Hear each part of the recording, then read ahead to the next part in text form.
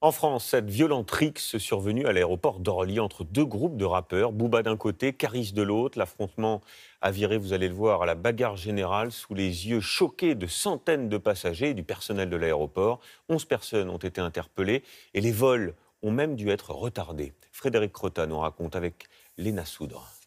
En quelques minutes, la zone d'embarquement de l'aéroport d'Orly s'est transformée en ring de boxe. Dans la confusion la plus totale, au beau milieu de voyageurs médusés, deux stars du rap français ont décidé d'en découdre. Lui, c'est Caris, ici en t-shirt gris. Un rappeur, mais aussi producteur de 38 ans. Face à lui, Booba, le plus célèbre des rappeurs français. Les deux hommes, autrefois amis, se détestent. Cette haine qui jusqu'à aujourd'hui s'exprimait sur les réseaux sociaux s'est transformée.